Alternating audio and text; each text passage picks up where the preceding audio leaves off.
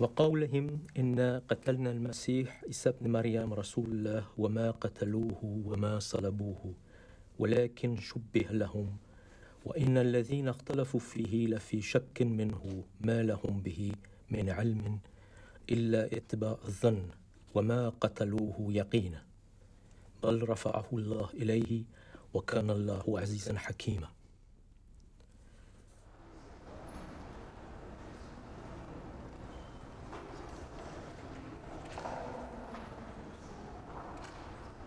Am Beginn des 8. Jahrhunderts schien der Islam definitiv als neue Religion etabliert zu sein.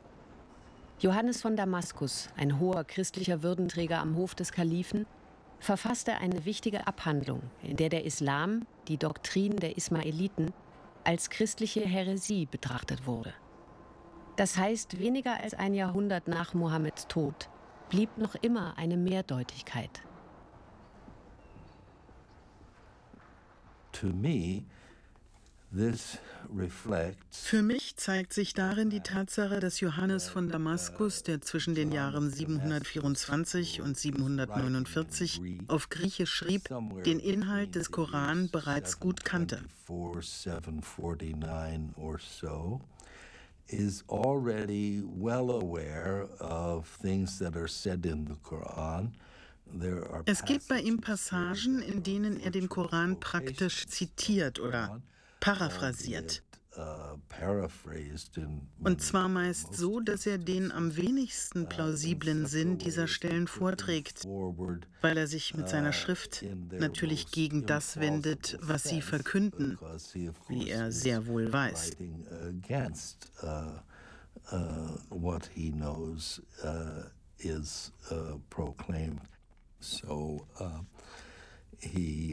so legt er den Finger genau auf das, was aus christlich-theologischer Sicht das Problem uh, ist.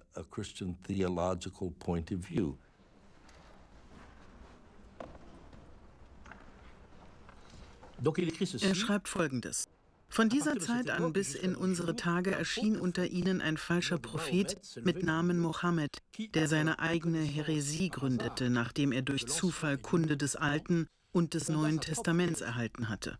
Nachdem er sich beim Volk eingeschmeichelt hatte, indem er Frömmigkeit vortäuschte, tat er so, als ob eine Schrift vom Himmel gekommen sei, die ihm Gott offenbart hätte. Nachdem er in seinem Buch einige lächerliche Lehren niedergeschrieben hatte, unterwies er sie auf diese Art Gott anzubeten. Das Folgende ist relativ positiv. Er zitiert Mohammed, der sagt, es gibt nur einen Gott, den Schöpfer aller Dinge, der nicht gezeugt wurde noch gezeugt hat. Das ist ein entscheidender Punkt, wo sich das Christentum vom Islam unterscheidet. Der Islam lehnt die Vorstellung eines Vatergottes radikal ab. Wenn Gott nicht Vater ist, gibt es auch keinen Sohn Gottes. Jesus ist also nicht der Sohn Gottes. Dann, Christus ist das Wort und der Geist Gottes, was ganz und gar richtig ist aber er ist Geschöpf und Diener Gottes. Er wurde ohne Samen geboren von Maria, der Schwester von Moses und Aaron. All das stimmt recht genau mit dem Korantext überein.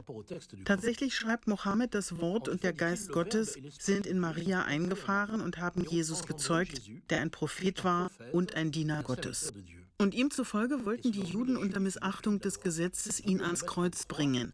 Aber nachdem sie sich seiner bemächtigt hatten, kreuzigten sie lediglich seinen Schatten.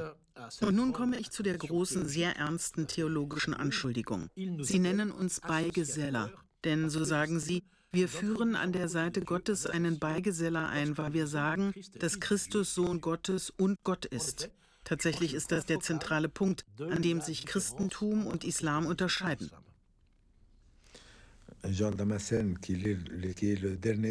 Johannes von Damaskus war der letzte Kirchenvater. Er konnte nur in einem bestimmten Rahmen denken, einem gewissen Logozentrismus. Logocentrisme. Et donc, euh, alle anderen Glaubensrichtungen konnten nur aus dem Christentum hervorgegangen sein. Sie waren Abweichungen im Verhältnis zur orthodoxesten Form des Christentums. Diese Haltung ist durchaus verständlich, denn Johannes von Damaskus war kein Historiker. Er schrieb ein Buch über Heresien und diese Haltung ist sehr verbreitet. Auf die gleiche Weise haben die Muslime, als sie später eine Einteilung in Sekten vornahmen, die christlichen Sekten danach klassifiziert, wie nahe sie dem Islam standen. Denn es gibt zwar Unterschiede zwischen Christentum und Islam, aber auch Übereinstimmungen. Das ist eine Frage des Grades. Und dahinter steht genau die gleiche Logik, die der Position von Johannes von Damaskus zugrunde liegt.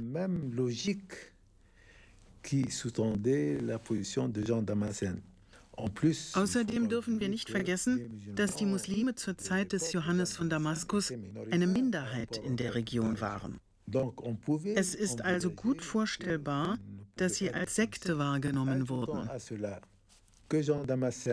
Wenn wir zudem bedenken, dass Johannes von Damaskus zu einer Familie von Sekretären in der Bürokratie der Umayyaden gehörte, die zugunsten muslimischer und arabischer Schreiber und Kanzleisekretäre verdrängt wurden, wird klar, dass seine Haltung nicht objektiv sein konnte.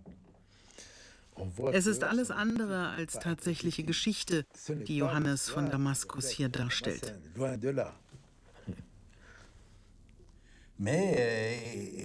Aber es ist logisch, dass jemand wie der heilige Johannes von Damaskus den Islam nur für eine Art christlicher Häresie halten konnte. Die Menschen im christlichen Mittelalter des Westens haben ihn zu Beginn immer für eine christliche Häresie gehalten.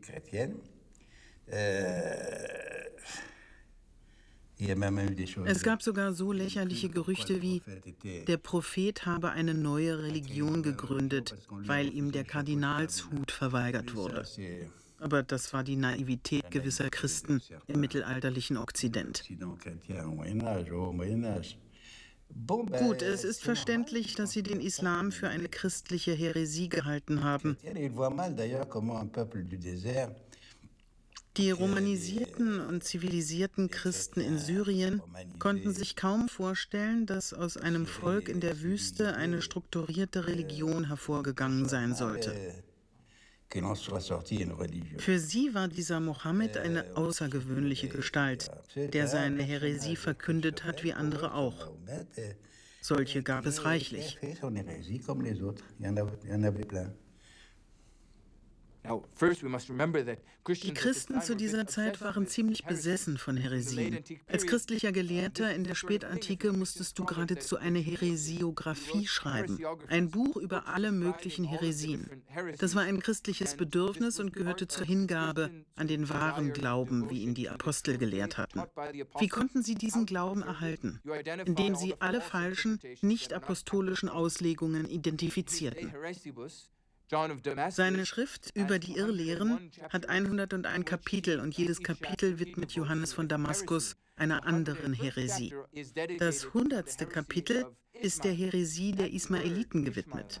Das Wort Ismaeliten, das eine Verbindung zu Ismael suggeriert, ist entscheidend für das frühe christliche Verständnis dieses neuen Glaubens. Dieser Begriff, mit dem bibeltreue Christen die Araber bezeichneten, denen es gelungen war, den Nahen Osten und Nordafrika zu erobern und einen neuen Glauben zu bringen, war tatsächlich die wichtigste Methode, mit der sie eine entschieden christliche Auffassung des Islam entwickelten. Und um diese Auffassung zu verstehen, müssen wir die von der Bibel strukturierte Denkweise der Christen jener Zeit verstehen.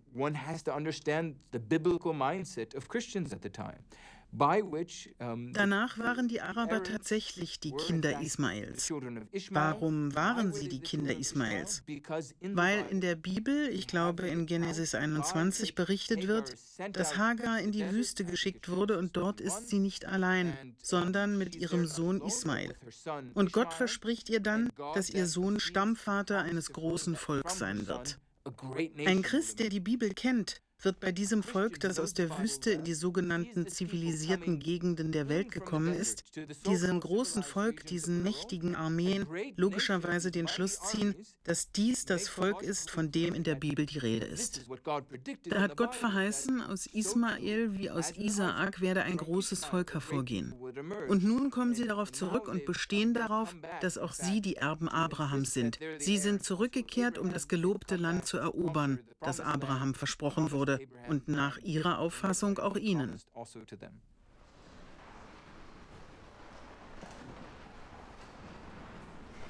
Nichts weist mit Sicherheit darauf hin, dass Mohammed eine neue Religion gründen wollte. Für den Koran ist er die Vollendung der biblischen Propheten. Er ist der letzte Prophet. Er besiegelt sie. Indem er eine Abstammung von Abraham für sich in Anspruch nimmt, versucht Mohammed vor allem seine Legitimität zu sichern.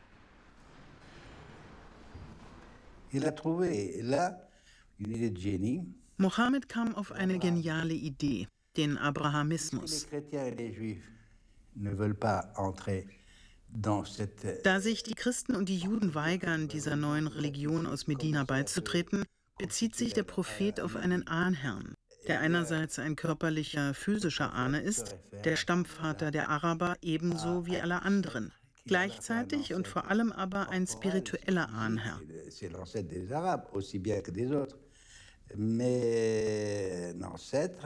Damit geht er zurück auf den ersten Monotheismus, den ursprünglichen, wahren, den Monotheismus Abrahams, der, so präzisiert der Koran, weder Jude noch Christ war. Und erstaunt, dass die Juden, jedenfalls die Buchbesitzer, ihn deshalb kritisieren könnten. Er sagt, ihr Buchbesitzer, Warum streitet ihr über Abraham, wo doch Tora und Evangelium erst nach ihm herabgesandt wurden?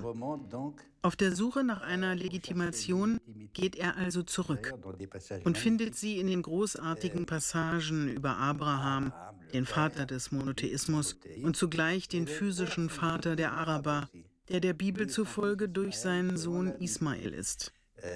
Dem Islam liegt daher eine abrahamistische Auffassung zugrunde.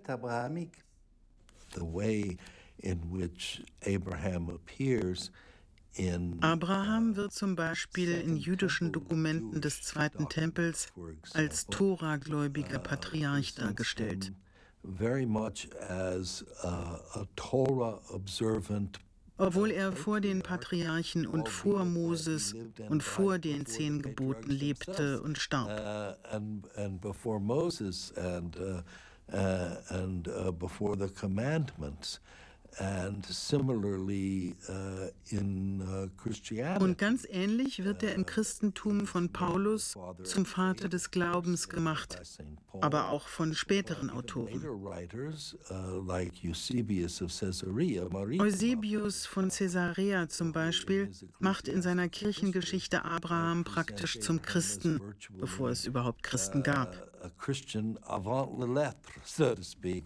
Uh, and uh, und so wird er im Islam weder als Jude noch als Nazarener, also als Christ, sondern als Muslim gezeichnet.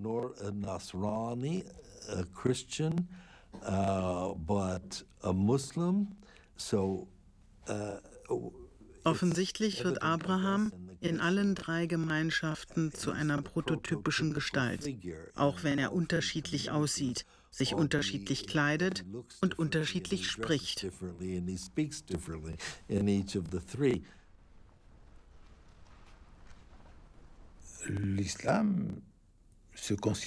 Der Islam sieht sich in der Nachfolge des israelitischen Monotheismus.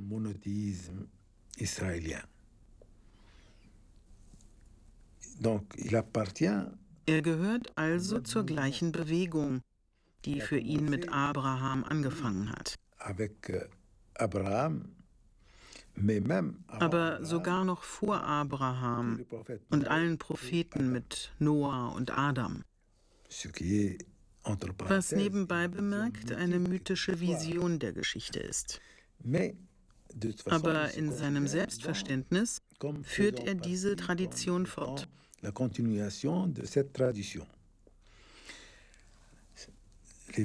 Zahlreiche Koranverse knüpfen an Judaismus und Christentum an. Aus Sicht des Koran ist das Evangelium die Fortsetzung der Tora. Und Jesus ist Autor des Evangeliums. Autor ist er, da ihm das Evangelium offenbart wurde wie ein Koran. Hier geht es also um eine Genealogie. Mohammed hat das Bedürfnis, sich in der Nachfolge von jemandem zu sehen als Glied einer Kette. Er kann nicht von Abraham zu sich selbst springen. Dazwischen ist noch Jesus. Er geht von Abraham, Moses, Jesus bis zu sich selbst. Jesus verbindet ihn also mit denen, die in der Genealogie vor ihm kommen. Darin spiegelt sich die Sichtweise einer Stammesgesellschaft von der Genealogie, hier der Genealogie der Propheten. Euh, euh, Im Koran gibt es sehr eindeutig etwas, das als Monoprophetismus bezeichnet werden könnte. Das heißt, alle Propheten werden nach einem fast identischen Muster dargestellt. Euh, die Laufbahn der Propheten verläuft demnach so, dass sie Predigten hielten, Mahnungen, die sich an ein Volk richten. Äh, Und das Volk ist ungläubig, trotz der Androhung von Strafen. Das Volk bessert sich nicht, es bekehrt sich nicht. Das Volk wird vernichtet. Derartige Darstellungen kehren regelmäßig wieder. Die Auffassung von den Propheten ist also sehr stereotyp, was dazu führt, dass alle oder fast alle Propheten nach einem einzigen Modell dargestellt werden. Der Mahner, der an die Schlüsselbotschaft erinnert, dass es nur einen einzigen Gott gibt, dass das jüngste Gericht unmittelbar bevorsteht, dass sie sich bekehren und vom Götzendienst ablassen sollen, sowie der Androhung von Strafen, die unfehlbar folgen, wenn das Volk sich nicht bekehrt.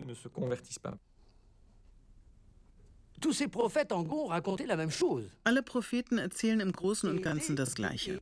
Und im Koran gibt es eine Auffassung vom Prophetentum oder Prophetenamt, das seit Beginn der Welt oder eher vom Ursprung des Menschen an so existiert. Das heißt seit Adam, für mich der mythische Protomann. Aber im Islam ist Adam der erste Prophet. Also war alles schon vorgegeben. Und alle Propheten sagten mit kleinen Abweichungen im Wesentlichen das Gleiche, einschließlich Jesus.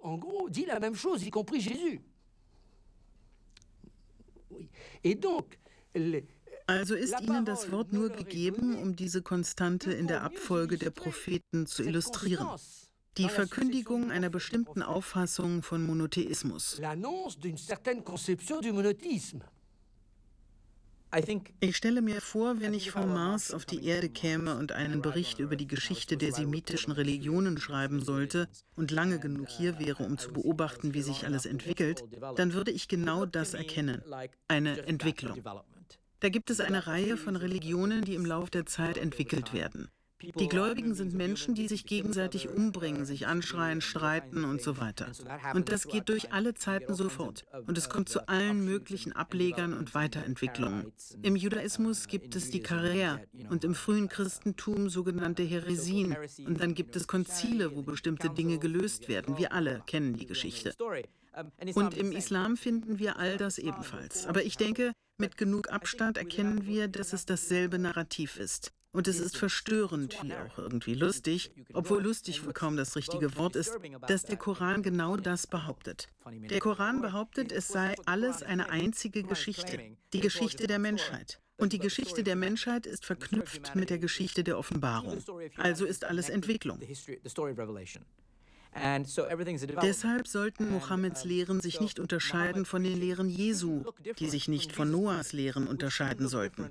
Die einzigen Unterschiede sind dann nur linguistische und regionale Besonderheiten. Und alles andere ist lediglich Detail.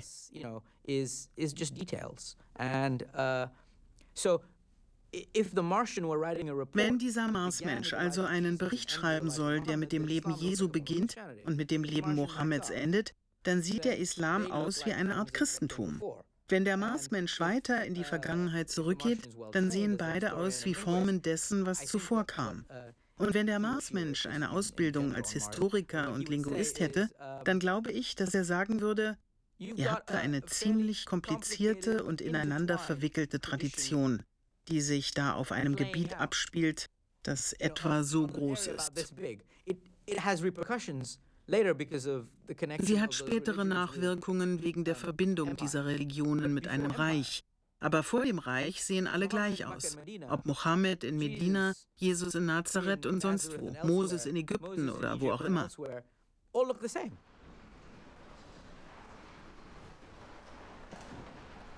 Juden, Christen und Muslime, alle stellen sich unter die Schirmherrschaft Abrahams. der als Gründungsvater der wahren Religion gilt.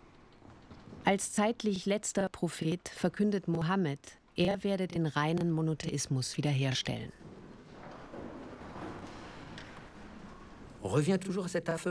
Immer wieder wird auf diese berühmte Urreligion zurückgekommen. Adam war Muslim. Euh, Abraham war, ich würde sogar sagen, noch mehr Muslim. Euh, Moses war Muslim, Jesus war Muslim.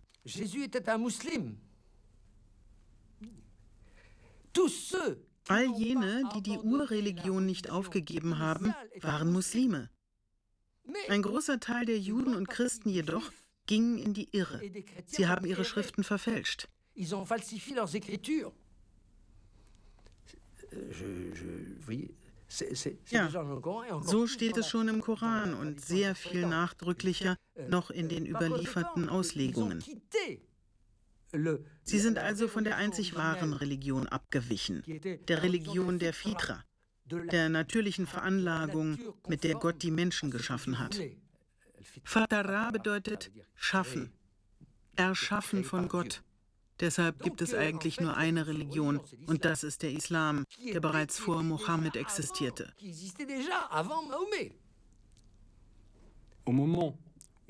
Zu der Zeit, als der Koran geschrieben wurde, existierte die Vorstellung noch nicht, dass es im Endeffekt mehrere Geschichten Gottes mit den Menschen geben könnte. Es gab also nicht drei Religionen. Deshalb halten die Muslime heute natürlich Jesus für einen Muslim und Moses ebenfalls. Und Abraham ist sogar der erste Muslim. Aus diesem Grund übrigens werden die Christen Mushrikin genannt, denn das ist abwertend. Und die Juden Kufar, auch das ist abwertend.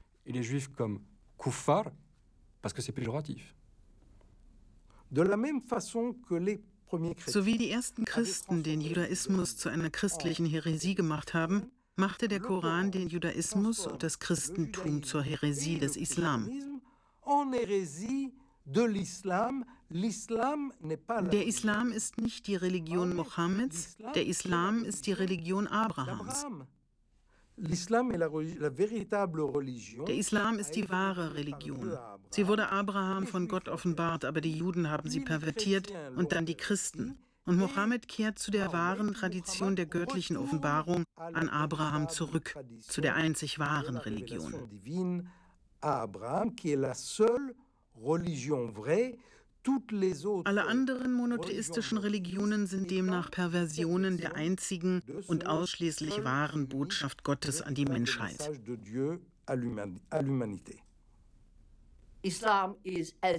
Der Islam unterscheidet sich vom Christentum wie auch das Christentum vom Judaismus. Es sind drei verschiedene Religionen.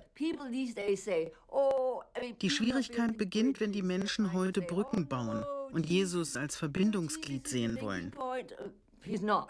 Das ist er nicht. Im Gegenteil. Sehen Sie sich nur die Polemik über Jesus im Internet an. Oder es heißt, all diese Religionen gehen auf Abraham zurück. Das stimmt, aber Abraham spaltet auch. Man sagt, er ist mein, nicht euer. Uh, und das bedeutet, Judaismus, Christentum und Islam kämpfen um das gleiche religiöse Gebiet, als kämpften sie um das gleiche geografische Territorium. Wenn wir alle Jerusalem beanspruchen, dann werden wir natürlich kämpfen. Und das geschieht in dem Moment, als eine der drei Streitparteien politische Macht gewinnt. Da wird die Auseinandersetzung gewalttätig. Das ist absolut vorhersehbar, zu 100 Prozent sicher. Und natürlich geschieht das auch im Islam. Die Muslime gewinnen Macht und bumm. Da kommt es zu Gewalt und Unterdrückung und Verfolgung und so weiter. Ich denke, es ist sehr wichtig zu erkennen, dass all diese angeblich verbindenden Gestalten, Jesus und Abraham, in Wirklichkeit Anlass zur Entzweiung sind. Und ich glaube, das wird immer so bleiben.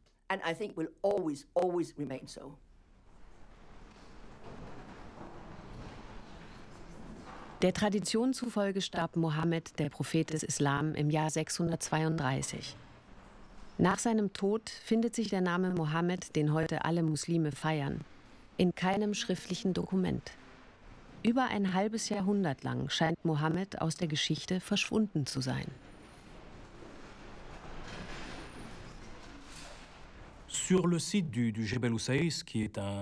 Der Jabal Usais in Syrien, etwa 120 Kilometer im Südosten von Damaskus, ist ein sehr besonderer Ort mit einem Doppelvulkan. Und auf dessen höchstem Gipfel am Krater des Vulkans wurden etwa 80 arabische Inschriften entdeckt. Du dernier volcan, celui qui se trouve le, le, le plus haut, euh, autour de la, de la corolle euh, euh du, du Volcan. Unter diesen Inschriften findet sich eine große Zahl von einfachen, ohne Anrufung zitierten Koranversen. Euh, on a bon nombre euh, de ce que nous appelons des isolats coraniques, à savoir des versets Die Verse sind ohne weiteren Zusatz in den Stein geritzt. Und zwei dieser Koranzitate beziehen sich ausschließlich auf Jesus. Et parmi ces quelques isolats coraniques, nous en avons deux qui concernent strictement Jésus. Euh, euh, In den ältesten Inschriften finden sich Schichten, die als reiner Monotheismus betrachtet werden könnten, wo der einzige Hinweis auf das Göttliche der einzige Gott ist.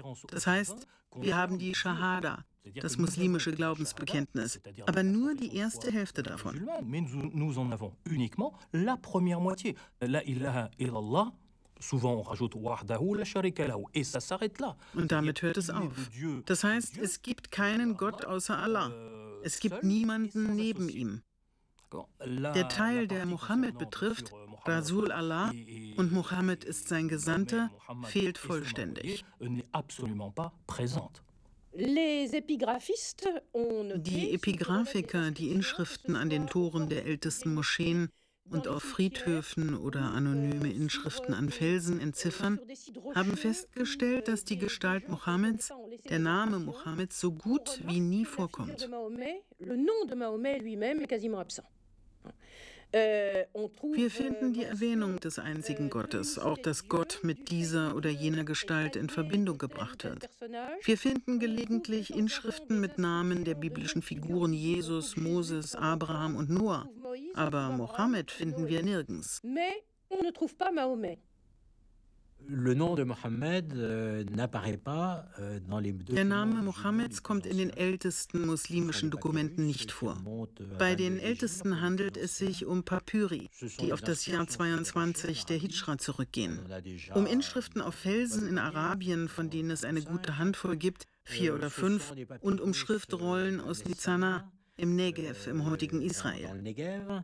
Euh, dans le Negev actuel en territoire israélien. Äh, In all den Dokumenten, die älter sind als der Felsendom, der aus dem Jahr 72 der Hijra stammt, also 62 Jahre nach dem Tod Mohammeds entstand, in all diesen 62 Jahren erscheint der Name Mohammed in keinem Dokument, das im islamischen Herrschaftsgebiet entstanden ist. Das ist eine sehr lange Zeit und das ist ein klein wenig überraschend. Eigentlich sind es 61 Jahre, denn möglicherweise wurde im Iran im Jahr 71 der Hijra eine Münze von einem Gegenkalifen geprägt, auf der Mohammed erwähnt wird. Also wird die Zeitspanne ein wenig kürzer, aber das ist eigentlich nur ein Detail.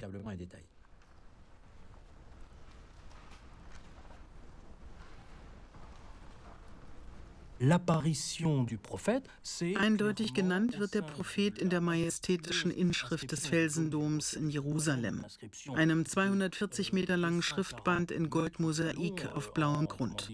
Es dokumentiert, dass die arabische Schrift in die arabisch-muslimische Gesellschaft eingedrungen ist. Dazu wurde ein architektonisch außergewöhnliches Monument gewählt, errichtet auf dem höchsten Punkt des Tempelvorplatzes. Auf der Außen- und Innenseite des inneren Oktogons wird ohne Zweifel von lokalen Künstlern diese sehr, sehr lange Inschrift angebracht, in der Mohammed sechsmal erwähnt wird. Das ist in gewisser Weise die offizielle Vorstellung des Propheten. Fünfmal steht da, Mohammed ist Gesandter Gottes, Gott segne ihn. Mohammed ist der Gesandte Gottes. Wahrlich, Gott und seine Engel segnen den Propheten. Mohammed ist der Gesandte Gottes und so weiter. Euh, euh, Betrachten wir, wie Jesus in der gleichen Inschrift dargestellt wird, ein wenig vor oder ein wenig nach Mohammed. Diese beiden Prophetengestalten werden also in dieser langen Inschrift vermischt. Dann wird deutlich, dass es sich um eine literarische Konstruktion handelt, die in der sehr schlichten Art, in der der Prophet charakterisiert wird, absolut fehlt.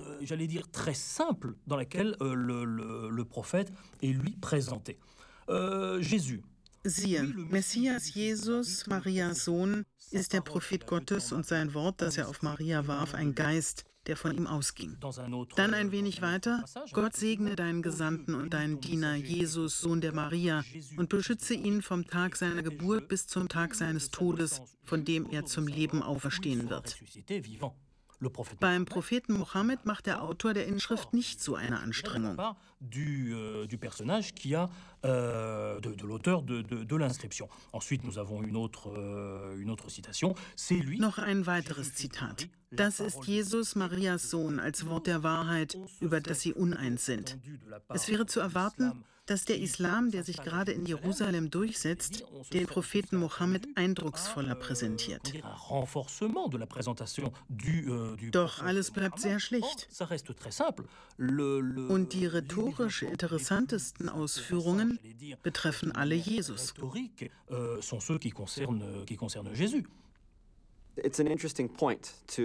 Es ist interessant, über die Bedeutung Jesu in den ersten Inschriften mit Koranversen auf der Welt nachzudenken. Die erste Inschrift mit Koranversen auf einem Felsen oder an einer großen Gebäudefassade spricht von Jesus. Es sind Koranverse, in denen Jesus Name vorkommt. Ich halte das für sehr bedeutsam. Worin besteht diese Bedeutung? Es könnte sein, dass die Muslime der Zeit, der Kalif zu den Christen sprechen wollten, die Christen erreichen wollten, den Christen beweisen wollten, dass der Islam eine Tradition ist, die den Gründer ihrer Religion, ihren Messias, respektiert. Und könnten Sie nicht auf etwas Weitergehendes hinweisen? Nämlich, dass Jesus zu Anfang noch wichtiger war und seine Bedeutung im Lauf der Zeit abnahm.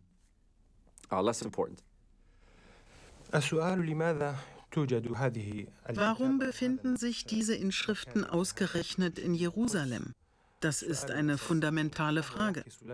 Sie zeugen von einer historischen Phase, in der die Besonderheiten des Islam zutage treten und die Menschen allmählich verstehen, wie diese neue Religion Marias Sohn sieht und in der dies im Zentrum des Christentums kundgetan wird. Das ist der konkrete Beweis dafür, dass der politische Islam eine Phase erreicht hat, in der er sich in politischer wie in theologischer Hinsicht vom Christentum abgrenzt. Tatsächlich werden sowohl Mohammed als auch Jesus als Diener Gottes und als sein Gesandter genannt. Es wird kein Unterschied zwischen den beiden gemacht. Letztendlich bedeutet dieser Text, wir respektieren die Christen unter uns, wenn sie im Sinne des Islam an Christus glauben.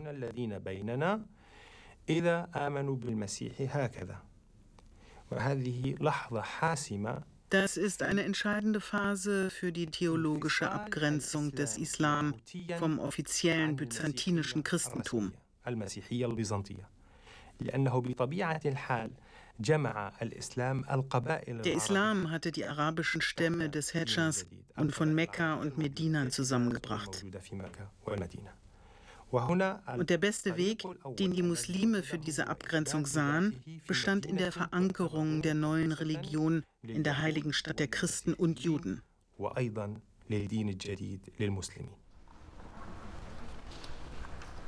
Paradoxerweise ist es nicht in Mekka oder Medina. Es ist in Palästina, in Jerusalem, der heiligen Stadt der Juden und besonders auch der Christen, wo der Kalif Abd al-Malik am Ende des 7. Jahrhunderts das erste große Monument des Islam errichten ließ, den Felsendom.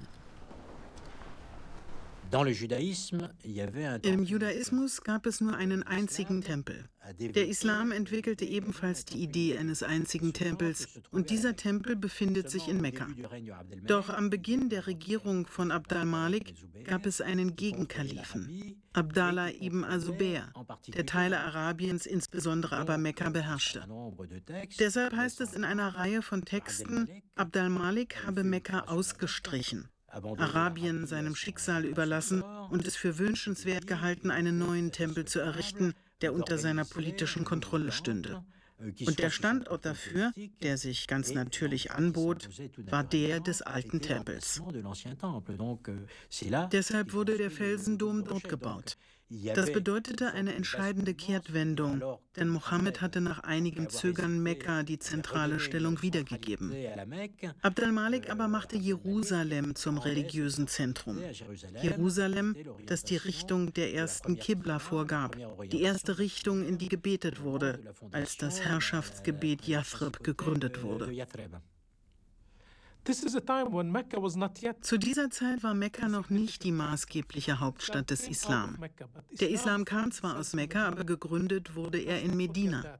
Und dann, kurz nach dem Tod des Propheten Mohammed, 20 Jahre danach, befindet sich der Islam ganz außerhalb Arabiens. Die Muslime ließen also Arabien hinter sich und traten jetzt im Mittleren Osten in Konkurrenz zu Christen und Juden. Und wenn du der Ansicht bist, du seiest legitimer Erbe des Monotheismus, musst du auf seinen bedeutendsten Ort Anspruch erheben. Das ist der Grund, warum die Umayyaden ihr erstes bedeutendes Projekt religiöser Architektur in Jerusalem begannen. Hier sind sie im polemischen Wettstreit mit der Christenheit. Also bauten sie den Felsendom. Er sollte einen beeindruckenden Überblick über die Stadtlandschaft von Jerusalem geben. Heute ist Jerusalem derart immens, dass nicht mehr zu erkennen ist, wie beherrschend und imposant sich der Felsendom in der alten Stadt des 7. Jahrhunderts ausnahm. Doch wir müssen uns das mittelalterliche Jerusalem, das alte Jerusalem des 7. Jahrhunderts vorstellen. Dann begreifen wir, wie überwältigend der Felsendom war. Er war als Konkurrenz zur Grabeskirche gedacht, denn Jerusalem war die Stadt der Christen. Damals gab es dort nur sehr wenige Juden.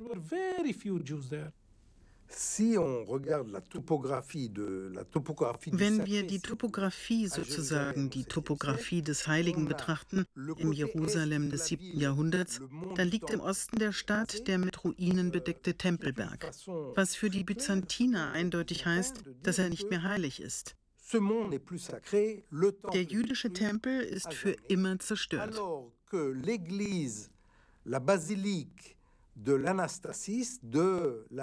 Im Westen Jerusalems erhebt sich das höchste, strahlendste und ganz sicher beeindruckendste Bauwerk der Stadt. Die Basilika Anastasis oder Auferstehungskirche, die die Westkirchen Grabeskirche nennen. De la ville de Jérusalem. Als die Muslime nach Jerusalem kommen, ist ihnen klar, da sie keine Christen sind, dass die politische und die religiöse Veränderung in der Topographie der Stadt sichtbar werden muss. Was machen also die Muslime, als sie nach Jerusalem kommen? Diese Frage stellen sie sich ebenfalls. Und was können sie schon auf dem Tempelberg bauen, wenn nicht einen Tempel? Diese Idee haben ihnen sicher die Juden souffliert. Also gut, wenn wir schon einmal hier sind, bauen wir den Tempel wieder auf. Das ist genau das, was zu tun ist. Mais à un certain moment, assez vite, aber ziemlich schnell, sicherlich vor dem Ende des 7. Jahrhunderts, wird ihnen klar, dass sie mit ihrer neuen Identität, die sich behauptet und bestätigt, Herren ihres eigenen Schicksals sind. Und dass sie keineswegs den Tempel der Juden wieder aufbauen müssen, sondern einen Tempel für sich selbst errichten können, den Felsendom. Euh, ce qu'on appelle le, le dôme du rocher. Der Felsendom ist umso erstaunlicher, als sie bei der Errichtung dieses Monuments auf einer Anhöhe mit der Tradition brachen. Denn wenn wir den Koran nehmen und alles heranziehen, was die Darstellung der Religion im Koran betrifft, die Kaaba zum Beispiel steht in einer Niederung. Die Kaaba, das wichtigste Heiligtum des Islam, war zuvor heidnisch. Und die Kaaba liegt in einer Senke, da wo dem Koran zufolge der Bauch von Mekka ist. Das heißt, es ist der Ort, wo Wasser gesammelt wird, nahe einem Brunnen. Die Kaaba befindet sich an einem Ort mit Wasser. Übrigens gab es dort von Zeit zu Zeit Überschwemmungen, bis die Saudis vor kurzem Arbeiten durchführten. Die Kaaba enthält heilige Steine. Der Felsendom ist also geradezu das Gegenteil. Er liegt zum ersten Mal in der muslimischen Welt an einem hochgelegenen Ort. Aber nicht nur die Kaaba liegt tief, sondern hohe, von Menschen gemachte Gebäude insgesamt werden im Koran als Beleidigung Gottes bezeichnet. Und daran erkennen wir, dass der Islam neues Gebiet betrat, als er ganz plötzlich in die Höhe strebte. Le fait que les die Tatsache, dass die Muslime ein Monument bauten, das in gewisser Weise der Grabeskirche ähnelte, aber anders und schöner sein sollte, farbenfroh mit Mosaiken. Die Tatsache also, dass die Muslime ein absolut beeindruckendes Bauwerk errichteten, beeindruckender und höher als die Grabeskirche, zeigt, dass es sich um ein antichristliches Gebäude handelte. Übrigens wurde es von christlichen Arbeitern gebaut, von Armeniern. Die angewandten Techniken waren den Armeniern bekannt, nicht den Arabern aus der Wüste. Le fait que les musulmans construisent une structure der von den Muslimen errichtete Bau, dieses absolut großartige Bauwerk, eindrucksvoller und höher als die Grabeskirche, als das heilige Grab, sollte demonstrieren, dass die Wahrheit jetzt durch die neue Religion verkündet wurde. Und nicht mehr durch die Religion des gekreuzigten Christus, die die Religion der Byzantiner war.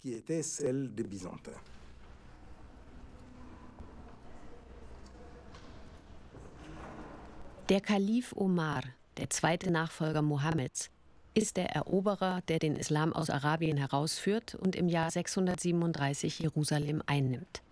Der Kalif Abd al-Malik sichert endgültig den Sieg der Muslime, wirbt für die Gestalt Mohammeds und setzt den Islam als Staatsreligion ein.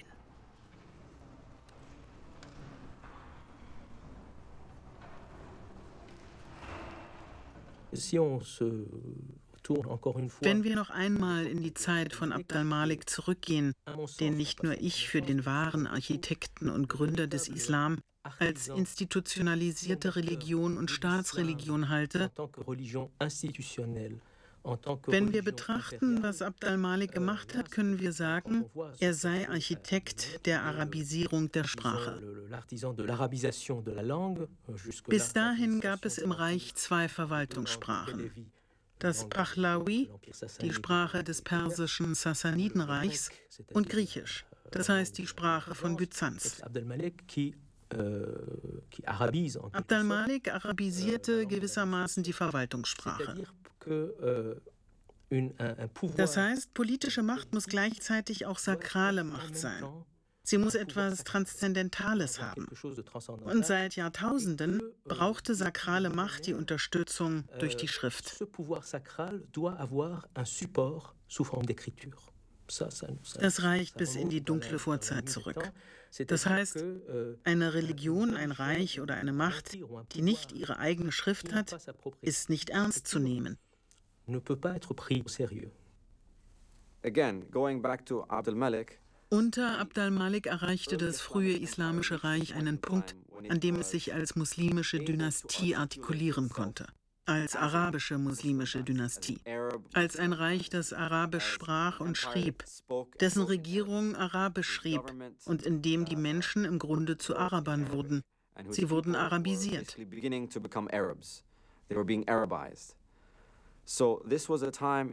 In dieser Zeit wurde es möglich, den Islam als neue Staatsreligion zu verkünden. Er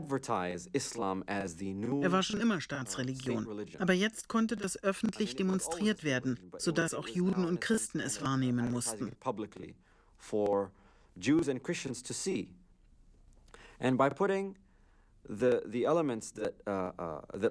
Und da alle Elemente dort gegenwärtig waren,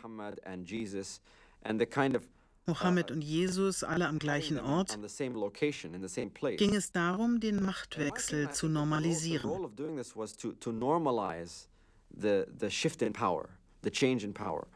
Uh, uh, es gab einen älteren Glauben mit einem älteren Propheten, der im Islam verehrt und respektiert wird. Und dessen Tradition und Textüberlieferung, die Evangelien, im Koran ebenfalls akzeptiert werden. Doch jetzt gibt es einen neuen Propheten und dieser Prophet heißt Mohammed und er hat eine neue Botschaft, die Botschaft des Islam und einen neuen Text, den Koran. Deshalb ist dies der richtige Ort und die richtige Zeit, um vom einen zum anderen überzugehen. Das ist einer der Gründe, warum manche Gelehrte glauben, dass in der Zeit der Herrschaft von Abd al-Malik das Reich wahrhaft islamisch zu werden begann.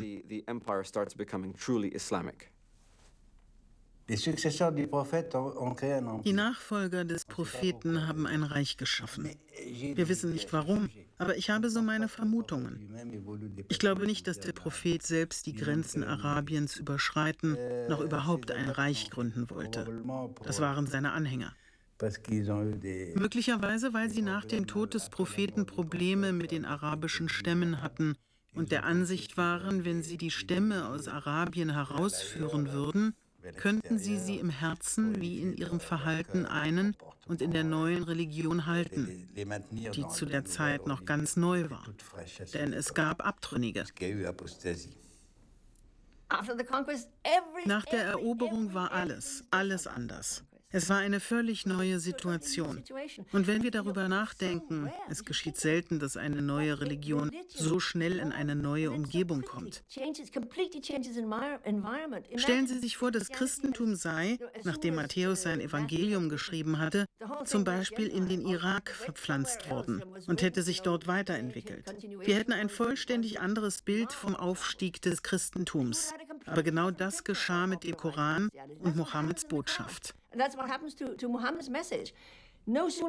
Kaum war sie geäußert und zack wurde sich verabschiedet von dem Ort, wo alles begann und wo alles, was er sagte, sich in der Umwelt widerspiegelte. Auf zu etwas Neuem, vollkommen anderem. Und die Tradition wuchs ganz woanders heran. Die erste Generation von Muslimen die nach der Eroberung geboren wurde, sie hatten nie etwas anderes erlebt.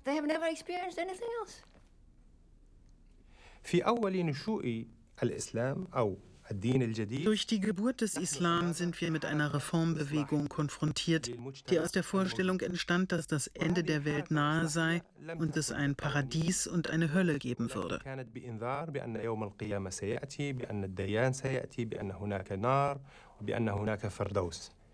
Diese Vorstellungen werden in eine religiöse Hypothese überführt. Den Glauben an den einen Gott, der alle Kulturen von Mekka und Medina, also die jüdischen und christlichen Kulturen, vereinen würde, um sämtliche Verfälschungen und Widersprüche zu beseitigen. Das ist die erste medinische Phase. وهذه هي المرحلة اللاحقة أي المرحلة الأولى المدنية Hierauf folgt eine zweite medinische Phase. Mohammed als Führer der Araber besiegt die jüdischen Stämme und verkündet eine neue Religion. Für mich gibt es also drei verschiedene Phasen. Die Verkündung der Heils- und Glaubensbotschaft, dann eine Art Synthese der Religionen und schließlich eine neue Religion, der Islam. On pourrait effectivement dire que euh, euh, Möglicherweise hegten manche, nicht alle. Es gibt immer Opportunisten. Aber ein gewisser Teil der ursprünglichen Gemeinschaft am Beginn der Eroberung die Hoffnung, Jerusalem einzunehmen und eine Rückkehr Jesu zu erleben. Und dieser missionarische, politische und militärische Eifer, der das Handeln bestimmte, sollte letztendlich den Boden dafür bereiten, damit sich der Wille Gottes auf Erden erfülle und der Messias zurückkehre. Doch das führte nicht zum Ende der Welt, sondern zur Gründung eines Imperiums. Der Islam Abd al-Maliks und der Umayyaden ist der Islam eines Imperiums. Und nun muss der Islam religiös wie auch politisch geformt werden, in vollem Bewusstsein dessen, was Nächstenliebe ist, was Judaismus, was Zoroastrismus ist. Und er wird geformt, um zu demonstrieren, dass er die Religion der Sieger ist. Die Religion, die sowohl kulturell als auch in Sachen Religion die Welt beherrscht. Das ist die Botschaft an alle, die ihr folgen. Das ist etwas ganz anderes als der Versuch einer Bewegung in Arabien. Alle Araber zum Monotheismus zu bekehren und alle Formen des Polytheismus, die in Arabien gediehen, auszuschalten. Es handelt sich nun um ein ganz anderes Terrain, andere Menschen, andere Herausforderungen. Der Islam Mohammeds befindet sich nicht im Konflikt mit dem Islam der islamischen Tradition, aber er ist anders. Ich denke, die Frage lautet, Wäre die islamische Eroberung nicht erfolgreich verlaufen, gäbe es einen Islam als Religion und Kultur so, wie wir ihn kennen? Das ist die Frage.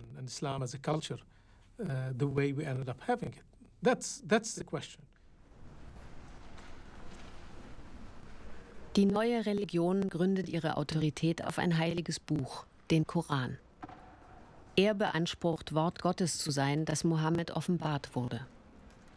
Dieses dichte und komplexe Buch, das religiös neuartig und in literarischer Hinsicht innovativ ist, hat eine rätselhaftere Geschichte, als wir meinen.